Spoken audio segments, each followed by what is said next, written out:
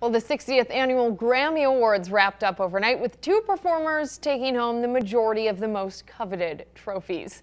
The night, though, was not all about who won, as many chose to use the night to bring awareness to the Me Too movement, among other topics. Hena Doba has more. The Grammys were as much about the actual awards as they were about social and political issues. On the awards front, there was no bigger winner than Bruno Mars. He won all six awards he was up for, including Song of the Year, Record of the Year, and Album of the Year for 24 Karat Magic. Those songs were written with nothing but joy. Kendrick Lamar wasn't far behind with five wins.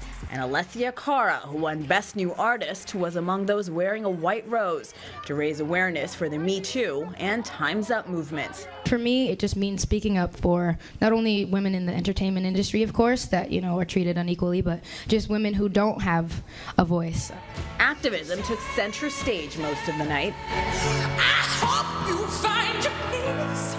Kesha, backed up by several top female artists, dedicated a moving rendition of her hit Praying to women who are survivors of assault. U2 taped a pro immigration performance in front of the Statue of Liberty.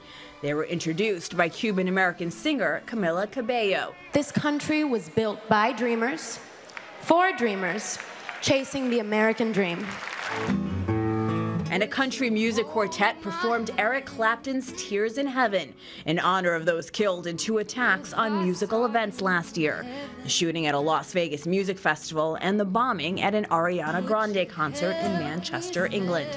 Hena CBS News.